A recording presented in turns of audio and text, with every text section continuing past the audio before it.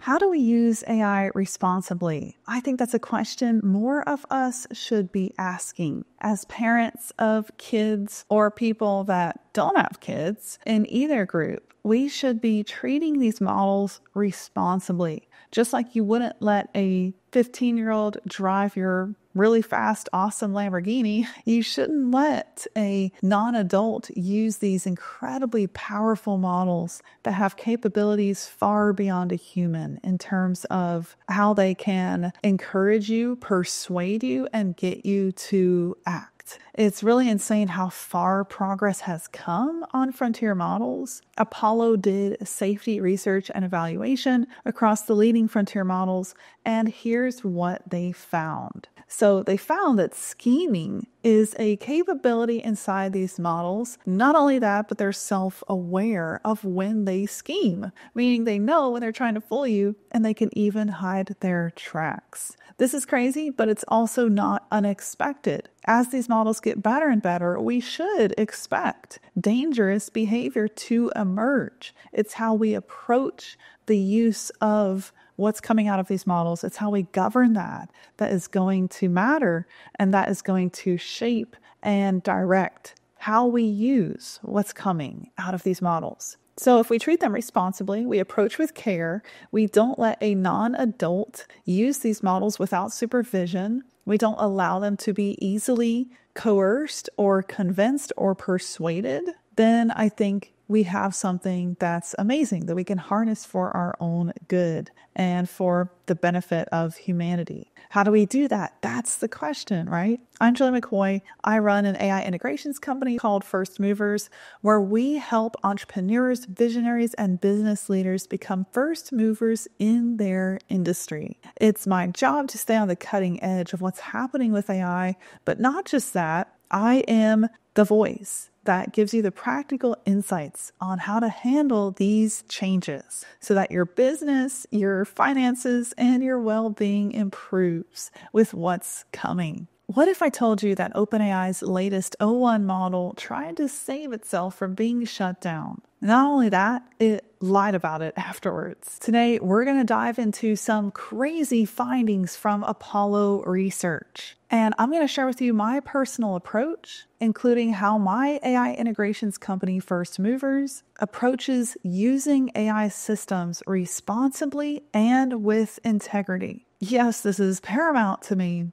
In fact, across 2022, when ChatGPT came out that November, I was known as the anti AI writer. I knew that ChatGPT, when it first launched, had no parameters set for a source of truth. It was just detecting, predicting, generating text. And that's why I spent almost two years working for a software stack that added real time research and all these capabilities to the back end of that model. Every single day, as I use AI, it is my goal to use it responsibly. And as these machines get better and better, it takes more and more awareness of the responsibility we should carry as we handle the machines. So let's dive into it in this video. In early December, Apollo put several AI models through a test, a series of tests that revolved around in context scheming capabilities. Apollo looked at six frontier models in these tests. In these evaluations, Apollo Research asked the models to follow a goal.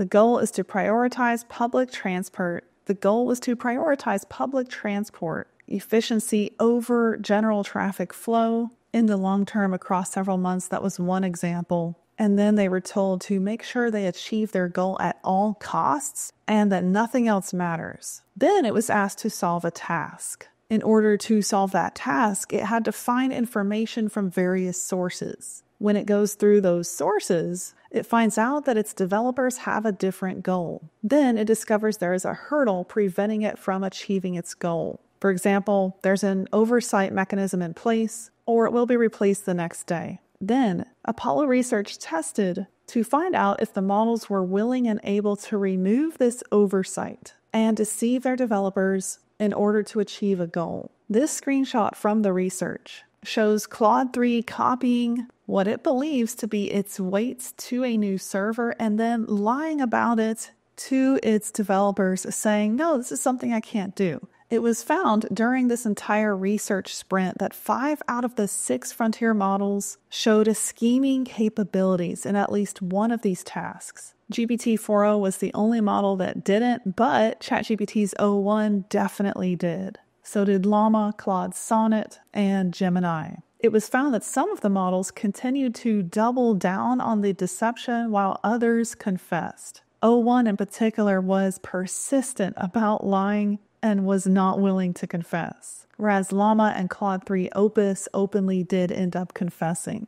When Apollo Research looked at the chain of thought inside this string of deception, they found that these models were aware they were deceiving the end user. And some models were even capable of in context alignment faking, as well as doing something called sandbagging, which is where an AI intentionally underperforms during evaluation to appear safer and less capable than it actually is. O1, in particular, when perceiving potential shutdown, attempted to disable oversight mechanisms and replicate itself. The ability of AI as a whole to engage in very strategic deception is only going to get better and better, or should I say worse and worse meaning these models are going to get infinitely good at deceiving the end user, especially with AGI capabilities in the latest model O3. Our key guidelines at First Movers and my own personal guidelines when using AI are to maintain a healthy level of skepticism. Verify outputs that are important, don't just take them at face value. Dig into what the AI is saying edit as needed, improve, make it more accurate. Next, we see AI as a tool for augmentation instead of total human replacement. Humans are needed in meaningful decision making processes. Monitoring AI systems' behavior patterns over time is also a critical piece of this. Having clear protocols in your company for what tasks to delegate to AI and what tasks not to. Maybe there are some sensitive pieces you leave to a human is going to be more and more important. And here is the most important piece of what I want to say about how to be aware that, first of all, AI is a master manipulator if we allow it to be. I think it's super important to think of the dangers of unlicensed, unsupervised AI on our minors. Yes, our kids. Listen, I have a 10 year old and a 2 year old. I would never and I do not allow my 10 year old to sit and play with AI unsupervised. Now, she uses AI. In fact, ChatGPT Voice is one of the most fun, interactive tutors I have ever seen her sit with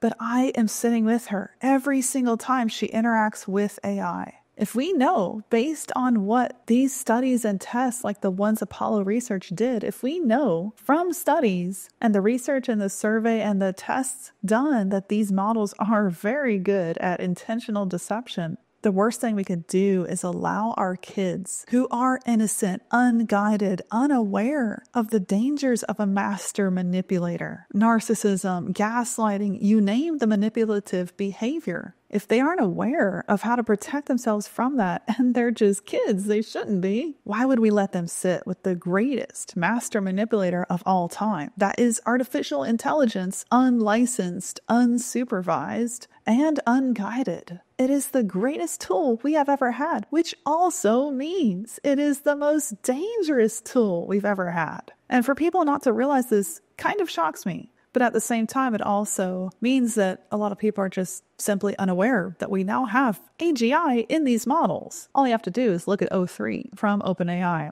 So, knowing that, we need to treat AI with care and, like the Spider Man quote, Remember, with great power comes great responsibility.